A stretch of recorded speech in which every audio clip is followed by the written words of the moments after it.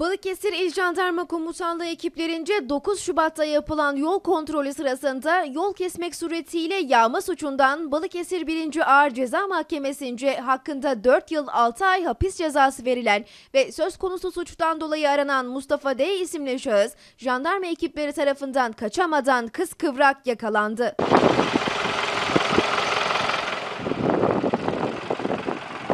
Balıkesir Adliyesi'ne sevk edilen şahıs tutuklanarak Balıkesir L tipi kapalı cezaevine gönderildi.